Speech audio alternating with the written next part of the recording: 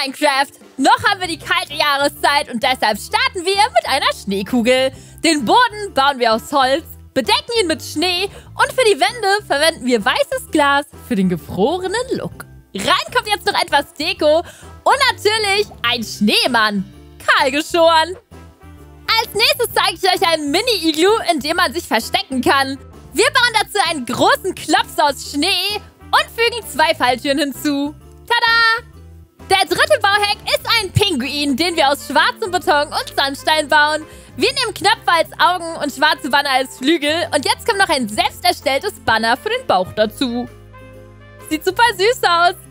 Als nächstes zeige ich euch einen eingefrorenen Spieler. Wir brauchen dazu Kolben und Redstone und schieben den Eisblock auf den Spieler. Sieht kalt aus da drin.